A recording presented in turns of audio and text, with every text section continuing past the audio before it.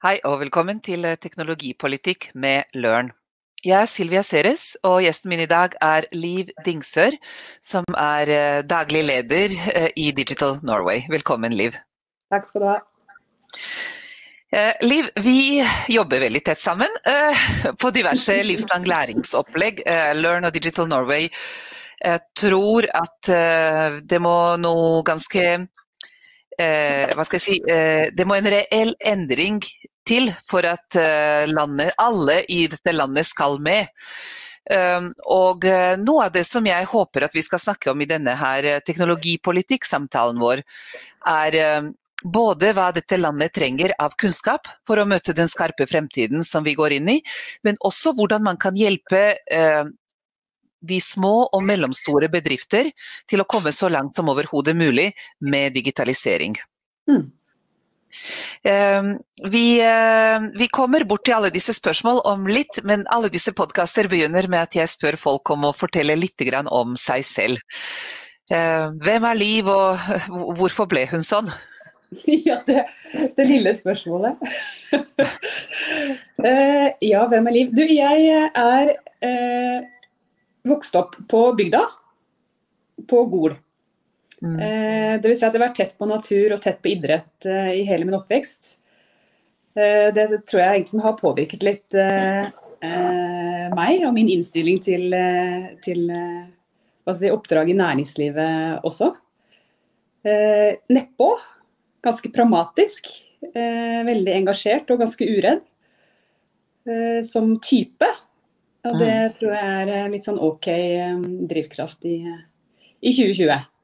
For mm. nå må vi liksom klare å agere på en, veldig mye informasjon som kommer i rasende fart.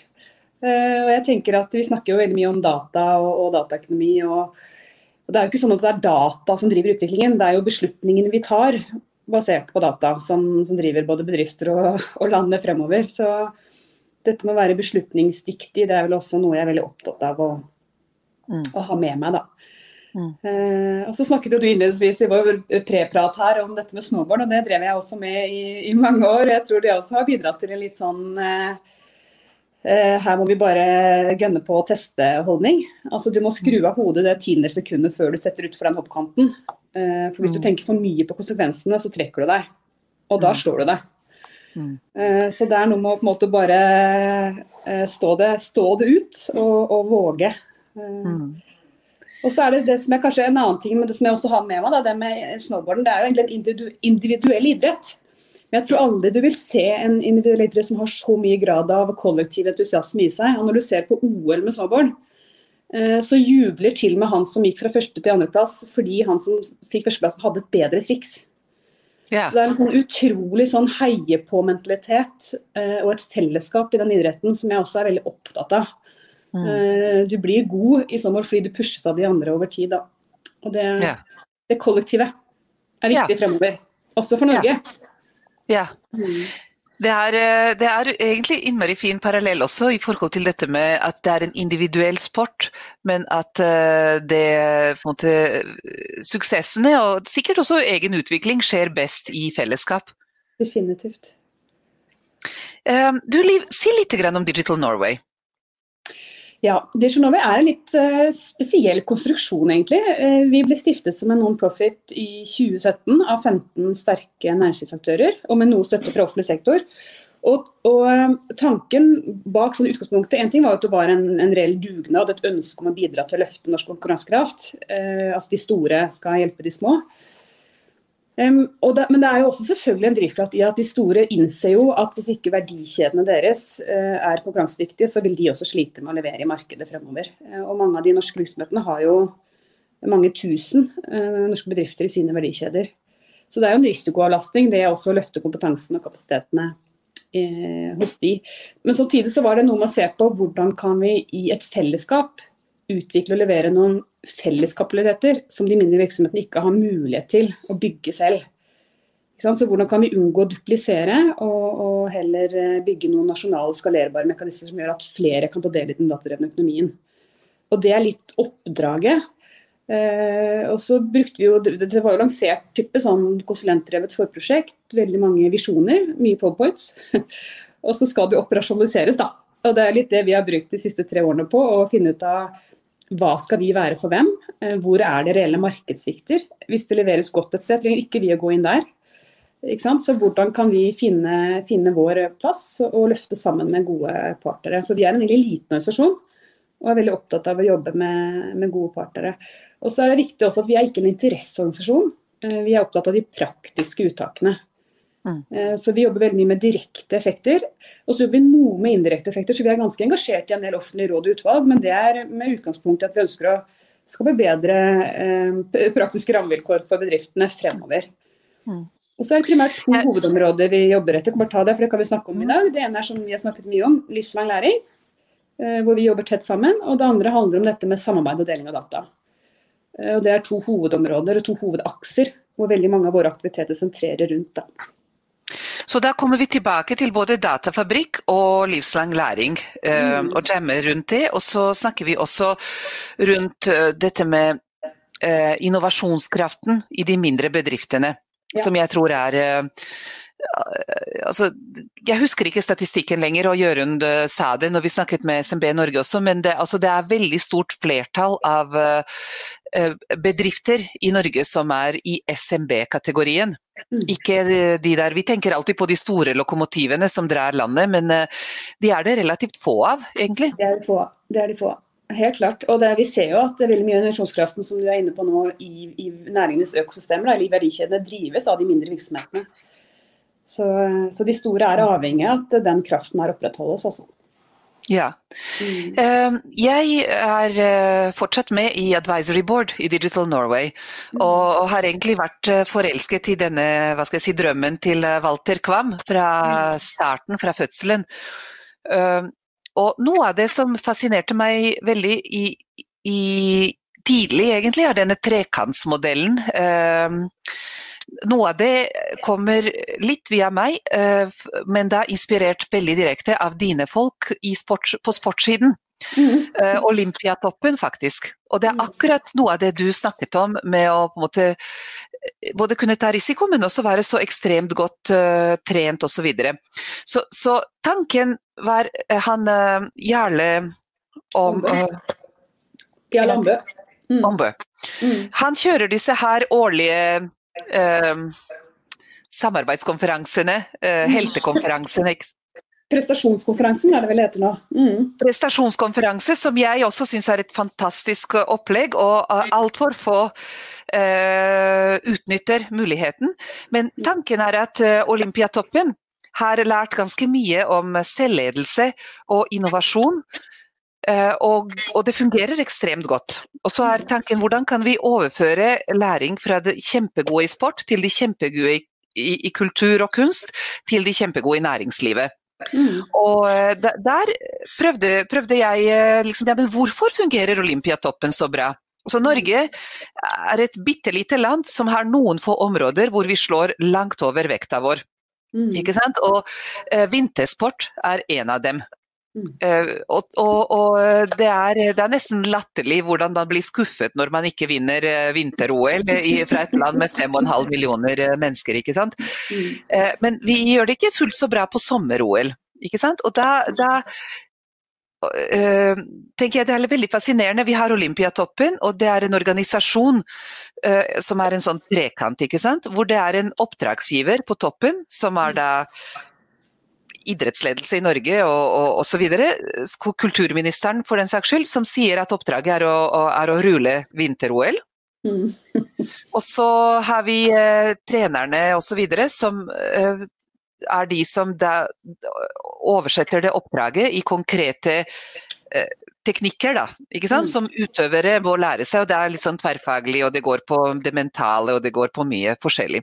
Mm. Og jeg tenkte Hvis vi kunne hatt en sånn oppdragsgiver på toppen, som mm. er eh, noen uh, i, i, vårt politiske apparat, da, som stiller da et krav til hva vil vi få til med digitalisering også. ikke sant? Hva slags vinter-OL er det vi skal vinne? For jeg tror ikke vi vinner sommer-OL i digitalisering nødvendigvis. Uh, også de store bedriftene som oversetter dette til sine krav. Mm. Og så har vi de små bedriftene som eh, leverer gjennom innovasjon på de mm. plattformene som de store har. Så har vi også en sånn modell som ligner på Olympiatoppen. Og uh, dere gjør noe veldig lignende. Ja, jeg synes det er en veldig god analogi. og det er jo, Apropos vinter-sommer, altså det er noe med å ta utgangspunkt i sine komparative fortrinn også. Uh, vi har jo mer snø enn de, enn de, fleste andre land, og du kan jo trekke parallell til hvilke industrier og næringer er det uh, er det vi har komparative fortrinn i. Det, det, er det jo mange som har ment mye om, og der har vi jo virkelig industrielle ben vi kan, kan videre, videreutvikle. Det er det jo ikke noe tvil om. og der ser dere også, i, i ja. deres eierskap, ja. de, de, som bidrar til dere, det er gamle, sterke industrielle bedrifter mm. som nå ønsker å måtte gjenfinne sine digitale uh, styrker. Eller uh, definere dem, kanskje, litt med, mm. med, hjelp av dere også. Men de får da også gjennom dere tilgang til SMB-ene, som kan på en måte hjelpe med halve veien. Ja, ja, og så ser vi at um, altså Selv de store, det er jo komplekst. altså Datateknologien er jo kompleks, både for store og for små. Uh, og Det er ikke sånn at alle de store virksomhetene heller eh, sitter på alle svarene. Og jeg tror Det som er, eh, det jeg liker veldig godt med, med sfæren, er jo nettopp den genuine interessen og nysgjerrigheten av å lære av hverandre, også mellom eierne. At man ser at vi har faktisk veldig mye å lære av hverandre, selv om ikke nødvendigvis vi er i samme bransje uh, eller i samme industri. da. Og det er litt det, Apropos politikken, vi, vi var jo sekretariatet for Digital21. Og, og, noe av det vi eh, snakket mye om der, det er dette med at digitalisering går på tvers. Eh, I sin natur. Mm. Mens Norge som nasjon er sektordrevet. Og når vi i tillegg, det så vi jo i covid også med krisen, vi har veldig mange støtteordninger og virkemidler i dette landet eh, som også er sektordrevet. Og det gjør ofte noe med, med mekanismen i forhold til faktisk søke samarbeid på tvers. At det er for få insentiver gjerne eh, til å gjøre det i praksis. Mens det er jo det vi må få til å skje. da. Og Det er vel kanskje hoveddrivkraften i Disjonov. Det handler om å rett og slett virkelig jobbe for dette på tvers. Eh, tankegangen. Og jeg, jeg, må innrømme at jeg ble ganske satt ut altså, Jeg var jo klar over at, er, at vi, er, vi er et SMB-land, og det i seg selv betyr at vi er en ganske sårbar økonomi. fordi marginene er små. Det vet vi. Men at, de så, at, det var så sårbart Jeg følte jo Norge lå med brukket til tre dager omtrent. Altså, nå sitter jeg litt på spissen, men det, det, var veldig voldsomt. Og det er klart at, eh, at eh, det, og, og, om det er en krise og eller en feilinvestering i teknologi eller kompetanse, så er det like katastrofale følger. Når du har så små marginer å, å jobbe med. Da. Og jeg tror det som skjer nå, og har skjedd for så vidt før krisen også, er at veldig mange i det altså SMB-segmentet velger å ikke gjøre noe. Fordi risikoen uh, og konsekvensene av å gjøre feil valg er så store. Uh, og du trenger så mye kompetanse for å ta riktige valg. Og det er kjempevanskelig. og Vi snakker med mange bedrifter som sier ja, men jeg må bare, liksom, hvilken kompetanse trenger du om fem år? Dette Norge 2025 som du er med på, Silvia, jobber med dette. ikke sant? Hva slags kompetanse skal Norge ha? Det er jo ingen, det er veldig få bedrifter som klarer å si det. Eh, det er høna og egget. Du skal ha veldig mye kompetanse for å vite hvilken kompetanse du skal ha om fem år. Og Hvordan skal vi klare å gjøre en god gap-analyse eh, når egentlig ingen helt klarer å svare opp på hva min bedrift har behov for? Og da, Men, det er en eh, utfordring for oss som nasjon. da. Uh, der, vi skal også ha en annen samtale senere, men vi må bare bitte litt inn i det nå. For jeg lurer på om dette da nødvendigvis krever litt ny ledelse også. Fordi vi har trent våre ledere nå i ca. et århundre på å maksimalisere skala, minimalisere risiko. Ikke sant? Mm. Mm. Og uh, det skal være så veldig uh, uh, hva skal jeg si, risikofritt. da, ikke sant? Og disse analysene skal sørge for at du har eliminert all risiko. Mm. Men det er ikke mulig i en så ukjennelig fremtid som det vi går inn i. Så det er noe med å begynne å gå, og så er det den der veien som blir til etter hvert som du stabler bena fremover. Mm. Og, det, og, og da må du lære fort. Ikke sant? Og så må du tørre å sette det neste benet, og i det kommer på en måte den der brikken under. Mm. Og, og hvordan du gjør det, på en måte som, eh, som, som ansatte er villige til å være med på, er også veldig vanskelig i, i miljøer som ikke liker å ta risiko, eller hvor, eh, som ikke får lov å ta risiko av styrene sine. Mm. Ja, det er veldig veldig krevende. og Én ting er jo på en måte ansatt og egen virksomhet, men det at du faktisk er nødt til å jobbe mye tettere med, med andre parter i økosystemet rundt deg også, i større grad enn før, for å kunne bevege deg raskere. da. For vi kan ikke bli best i alt, hver og en her. Eh, ikke sant? Så Det er også en, en veldig sånn spennende utfordring for mange virksomheter nå. Hvordan finner jeg de gode samarbeidsflatene med andre partnere? Det må være mer pragmatisk i forhold til hvordan man utvikler nye forretningsmodeller f.eks. For å, vi snakker jo veldig mye i Norge om dette tillitssamfunnet og denne dugnadsånden. Jeg, jeg syns vi snakker litt for mye om det. Det nesten blir en sånn vi, vi, tror at det er sant. Det er, det er, ganske langt fra å snakke om tillit til å realisere innovasjonskraft i disse samarbeidene. Altså. Så det å faktisk ha tillit til andre systemer, tillit til Vi snakket om dette med, med sikkerhetsaspektet, det å å forstå hvordan de kommersielle kontraktene er eh, mellom ulike parter. Eh, det å vite at datastrømmen du kobler til faktisk vil vedvare over tid. Altså, det er så mange usikkerhetsmomenter eh, som også handler om tillit til systemer og tillit til andre, da, som jeg tror også er ganske viktig å, å ta tak i fremover. Mm. Det er ikke bare internt man skal bygge tillit og, og, og kraft, drivkraft, det er liksom også i de eksterne relasjonene i mye større grad enn før. Og Det er også et helt annet ledelsesaspekt. da som jeg tror eh, mange undervurderer viktigheten av. Men eh, der, der var vi på dette med tverrfaglighet eh, og kanskje tillit, men også respekt. Mm. For Det er så veldig sånn at petroleumsbransjen forholder seg til petroleumsbransjen, mens de der som driver med ren energi, det er noe annet. ikke sant? Mm. Og noe av det som jeg tror blir veldig interessant, er at de, er jo, de, de flyter jo sammen på mange mm. måter. Og det er utrolig mye kompetanseoverføring, eh, ikke minst, men eh, også kompetanseoverføring, som du var inne på, på tvers av mye mer fjernliggende bransjer. Også helsesektoren kan lære mye av oljeplattformer. Eh, og det kan egentlig også finanssektoren gjøre. ikke sant? Og, og folk kan lære mye av finanssektoren, som går foran når det gjelder compliance og regulering. Eh, men hvordan kan man i praksis rigge til disse tverrfaglige arenaer? Mm. Ja, det er mange måter å gjøre på. Altså, en ting vi jobber mye med nå, det er Datafabrikken, som vi har jobbet med over noe tid. Eh, inspirert av en satsing de har hatt i Sverige, hvor man har klart å koble altså, næringslivet og akademia eh, tett, tett, sammen rundt da, KI, da, eller AI. Sånn den, den, helt sånn til syvende og sist drivkraften der. Og det vi ser på nå er altså, Hvordan er det du tilrettelegger for at datadeling en ting er at du får kontroll på egne data i egen virksomhet, det er jo steg én. Og så steg to er hvordan kan jeg nå uh, navigere og se hvor finnes det andre datastrømmer som kan gi verdi til min virksomhet når jeg skal uh, drive den, den, fremover. Og Da tror jeg rett og slett vi er nødt til å, å, samle oss om en nasjonal satsing som skalerer akkurat det. Og Vi ser jo med bedriftene i dag at det er utrolig mange En ting er juridisk og, og regulatorisk, som vi kunne snakket en hel time om. Uh, men det er jo også kulturelle, kommersielle kompetansemessige en hel haug med utfordringer for eh, alle disse virksomhetene som det ville vært helt pussig om hver og en bedrift, altså 200 000 SMB-er, skal løse disse hver for seg.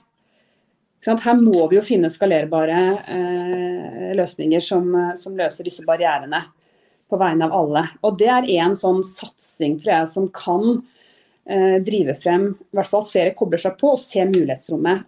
Og så vet vi at det å si, få til samarbeidskonstellasjonen på tvers av the usual suspects er ekstremt krevende. og Det, det skjer bare ikke av seg selv. Så det, det, å, det, vi jobber med nå, er rett og slett å sette opp helt konkrete datadelingskampanjer hvor vi kobler aktører rundt konkrete problemstillinger eh, og tar ansvar for å sikre den kollisjonen holder sammen over tid. Eh, og Da handler det om å, koble på både forsknings, eh, forskningsmiljøene, altså de som virkelig skal begynne å jobbe med de litt dypere analysene, men også koble store og små virksomheter sammen. Eh, og Jeg, jeg er helt overbevist om at det, sånne type prosjekter må stages mye for at mm. det faktisk skal skje. Og det der Å tro at man på en måte bare skal finne sammen sånn løpende, det Noen klarer det, eh, andre klarer det ikke. Og Når vi skal løse de store nasjonale utfordringene, så tror jeg vi må ta litt grep om det. Og så er det viktig at vi ser på hva som faktisk gjøres. Da. Se på nærings, eh, altså Brønnøysundregistrene har jo jobbet med svære OPS, offentlig sektorutviklingsprosjekter, i lang tid. Du nevnte eh, finans har gått foran, har akkurat lansert en ny på sjømat, bygg og anlegg er i gang. Vi jobber veldig tett med de, fordi at, og land, ja, landbruk har holdt på kjempelenge. Så mye spennende som skjer med den satsingen. Og i de prosjektene så utvikler du utrolig mye metodikk, læringer, eh, koblinger til offentlige data. Masse som ikke trenger å dupliseres. Mm. Men som vi rett og slett kan løfte ut og gjenbruke på tvers av disse bransjeløftene. Og med det også klare å se eh, si overføringsverdiene på tvers av bransjene. Og Det er noe typisk som de som jobber veldig for. da. Hvordan kan vi hente ut disse felleskomponentene eh, og lage de gode si, prosjektriggene som gjør at enda flere kan koble seg på og delta da, i disse løftene, om det er i bransjen eller på helst da etter hvert på tvers av bransjer. Mm. Så her må både offentlig, privat og akademia jobbe tett, tett sammen. Mm. Jeg tenker at uh, det ordet du brukte som uh, jeg, jeg syns var fantastisk ord her, det var stage. Mm. Fordi jeg tror at det er nesten Vi må bygge en kultur da, hvor dette her er en del av måten vi jobber på. Ikke sant? Mm. Og det vi merker, og noen av disse workshops har vi kjørt sammen med Digital Norway, ikke sant? Mm. er at altså det å rigge til la oss si, en digital minikonferanse hvor folk utveksler erfaringer. Først kan de kanskje ha levert en liten pakke av kunnskapen sin i form av en podkast og en case som vi da pakker rundt det. Og så diskuterer vi dette her og, og, og, tvinger folk til å ta aktive standpunkter på hva kan jeg bruke av dette her til å effektivisere, til å lage nye forretningsmodeller eller til å tenke på bærekraft som vekstmotor. Mm. Og, og, så finner de til nye både prosjekter, men også samarbeidsmuligheter. Mm. Eh, men, men eh, du må nesten på en måte tvinge folk rundt et sånt digitalt bord. Fordi ja, de opplever at hverdagen er så busy og det er så mange mailer som må svares på, og man har egentlig ikke tid. Så hvordan kan vi bygge den kulturen for å liksom spare litt av den der tiden som vi bruker på hverdags- og dagens modell eh, av business, og også ha litt tid for fremtiden også. Mm. Det handler som hos alt annet, at man må se verdipotensialet for egen virksomhet hvis man skal orke å engasjere seg. sånn er det jo mm. bare. Det er det det mm. koker ned til til syvende og sist. Og så tenker jeg eh, Så det, det, å spisse hva skal jeg si, eh, verdiforslaget, rett og slett eh, Det er jo et innsalg dette her, ikke sant. Mm. Eh, så det, det viktigste er at man ser at dette faktisk eh, går hånd i hånd med noe av det jeg trenger å få løst akkurat nå, i min kontekst. Det kommer liksom ikke unna. Liv, jeg har, jeg har, lyst til å spørre deg litt om livslang læring også. fordi det er, Jeg skjønner at um, Eh, folk ikke har tid, i tillegg til en, eh, en familie og busy eh, jobb. Mm. Men, men, det er så mange rapporter som går på at de gamle jobber endres til nye jobber som du ikke får gjort lenger. Det er ikke sånn at jobbene forsvinner, men verktøyene endres. Og, mm. og jeg tenker at vi må kollektivt ta et sett med nye fagbrev som ja. går på disse her nye verktøy, om det er eh, kunstig intelligens som du var inne på, men også tilrettelegging for bruk av data. Det, det kan være også VR og AR og nye kommunikasjonsformer. Det kan være mm. nye transportmidler og muligheter for business i droner og alt annet. ikke sant? Så det, mm. det er så mange temaer som, som, vi må lære, men folk sier at ja, det kan jeg rekke liksom, om fem år, når jeg tar et halvt år fri. ja. Og, og det er på den måten, Men liksom mange av de store bedrifter prøver da å gi folk fri tre måneder mm. til å ta en uh, ny grad innenfor mm. data science eller noe sånt. Noe. Men du kan ikke holde på sånn. Du kan ikke ta fri fra jobben for å gjøre deg klar for fremtiden. For da må du ta fri fra jobben hvert år resten av livet ditt. Mm. Så hvordan Nei, det, er ny, det, er en ny, ryggmargsrefleks som må bygges, da, rett og slett. Uh, jeg er helt enig. og Jeg, jeg syns det er egentlig fascinerende den mobiliseringsutfordringen eh, vi ser ute hos bedriftene. På tross av det åpenbare. Eh, ikke sant? Så det, jeg tror det handler rett og slett igjen da, at det må, på en måte, du må oppleve det veldig kraftig eh, akkurat i din kontekst for at du skal klare å, å ta tak. Dessverre, da. Eh, mm. Så det, det, ser vi er en kjempeutfordring, rett og slett denne, denne mobiliseringsutfordringen. Altså. Eh, så, så, jeg tror det handler mye om én ting, er jo det å, å finne tid til å si, fordype seg i ting på egen hånd, men det å bli litt leid, da, øh, og det å være i et sosialt aktivt fellesskap også, som bidrar til noe mer dybdelæring, tror jeg også er helt avgjørende. Og så tror jeg faktisk at um, eh, Vi jobber veldig tett og godt sammen med dere også med akademia. Jeg tror det er kjempeviktig også med de akademiske gradene. Men jeg tror samtidig at fremover så vil det være veldig eh, etterspørsel bare etter rett og slett ferdighetstrening. Altså det at du som individ ønsker Jeg vil egentlig bare bli bedre til å gjøre jobben min i morgen. Jeg er ikke så opptatt av vekt eller studiepoengene eller eksamen, egentlig. Jeg vil bare gjøre en bedre jobb for min arbeidsgiver i morgen. Uh, og det jobbet vi ganske mye med da korona smalt her i mars. Så uh, tok uh, Aker, altså Øyvind og, og Kognar kontakt med oss og sa vi må gjøre noe for våre industriarbeidere som nå blir permittert. Og da heiv vi oss rundt, og i løpet av tre uker så hadde vi satt opp Industrial Digital Academy, som var veldig sånn fokusert mot industriarbeiderne, og hvordan de kunne jobbe med industrielle data. Litt sånn hands on training, rett og slett. altså.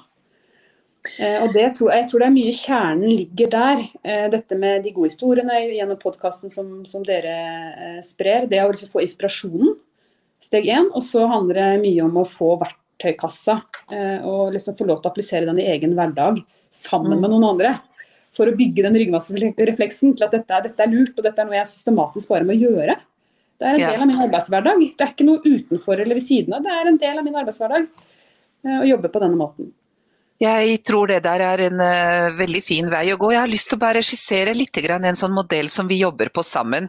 For jeg har veldig tro på det, Liv. Uh, og jeg tror det, det, du var inne på, at det, er, uh, det må være noe som er lett å gjøre ved siden av jobben.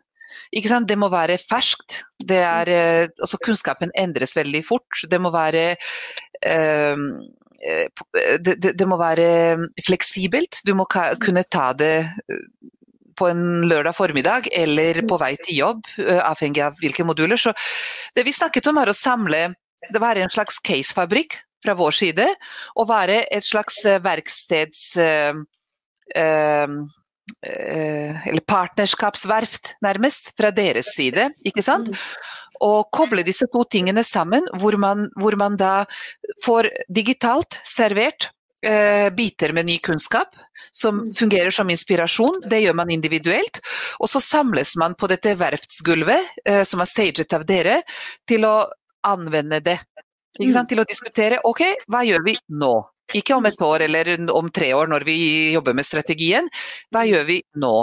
Og, og det, dette kan man egentlig utvikle, pakkettere til et sett med altså, nok timer til at man kan gjøre det ved siden av en jobb hvert mm. år resten av livet. Både ledelse, men ikke minst alle de på gulvet, med mm. anførselstegn, da, men hele, mm. for alle må med.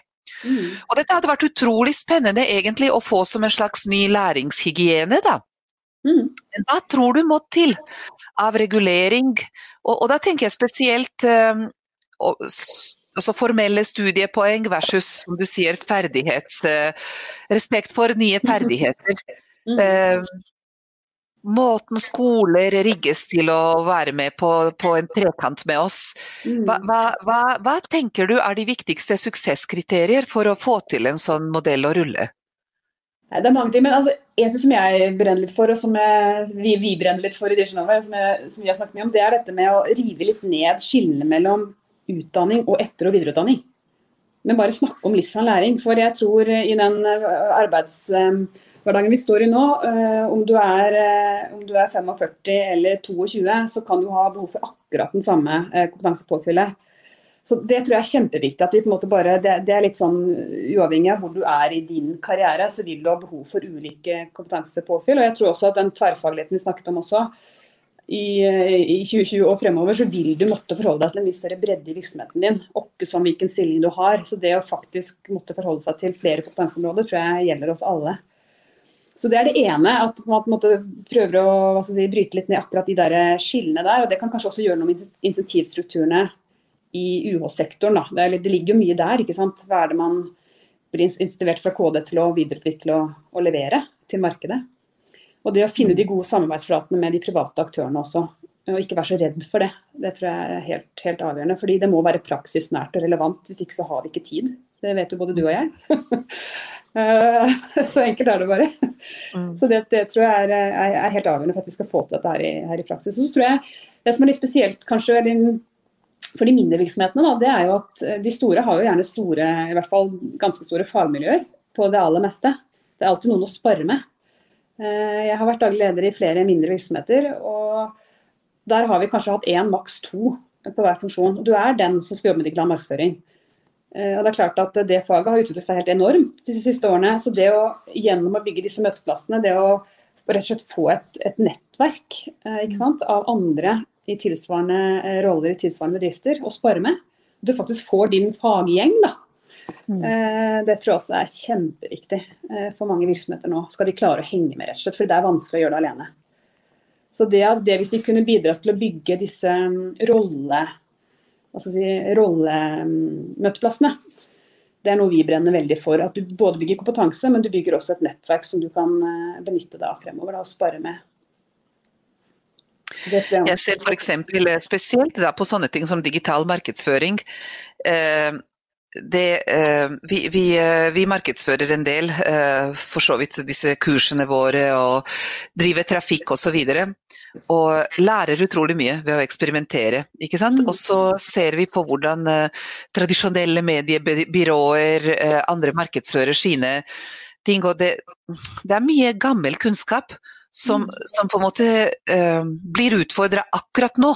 Mm. Hvor, du, hvor, du, merker at, la oss si også pga. korona, du ser at det er helt andre mekanismer f.eks. For, for informasjonsspredning enn det man er vant til å både levere og betale for.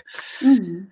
Så det er veldig spennende å se denne her just in time-læringen. og Derfor så tenker jeg disse rollebaserte møteplasser, eh, men også biblioteker, tror jeg blir kjempeviktige. ikke sant? Hvor mm. folk kan gå og se ja, men hva har de andre gjort som ligner mm. meg? Ikke sant? Hva mm. kan jeg lære av dem, og hva kan jeg kanskje da til gjengjeld lære til dem tilbake? Det de manglet av gode ideer. Ja, helt enig. Så tror jeg kanskje at Det er to også andre refleksjoner jeg har gjort meg. Um, og Det gjelder, også, det gjelder igjen store og små. Også. Det ene er uh, det kommer jo en del til også, er det sånn hva, hva er det liksom Norge mener at jeg skal kunne? Hva er denne digitale kompetansen alle snakker om?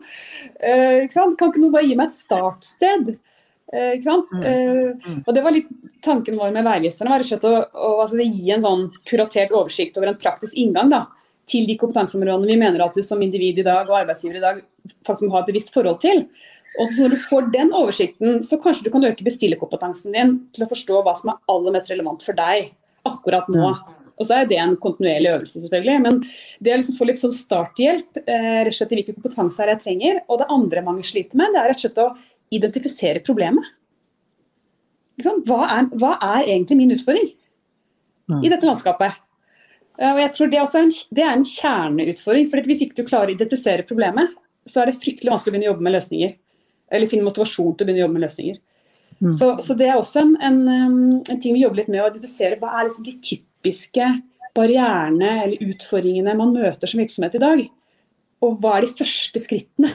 Og Det er denne mobiliseringsutfordringen. Da. Hva er de første skrittene eh, for å klare å angripe den problemstillingen på en god måte? Da. Så Det må vi jo hjelpe hverandre med. Og det er jo som du sier, handler mye om deling. da. Være åpne og ikke være så redde for å dele. Mm. Jeg tenker at uh, Vi snakket om data som nasjonal ressurs uh, gjennom deres inngang på Datafabrikk. Vi snakket mye om livslang læring og relevant kunnskap for fremtiden. Mm. Uh, vi, jeg har lyst til å snakke litt med deg også om dette med regulering som fremmer og ikke hemmer innovasjon. Mm. Og Den tanken jeg har der, er at vi må få til mye mer rundt innovative innkjøpsordninger. Mm. Jeg digger dem. Og jeg tenker at det vi fikk til, la oss si oljebransjen eh, for 50 år siden, at vi klarte å motivere store bedrifter til å være gode innkjøpere av mm. teknologi, og verdensledende teknologi.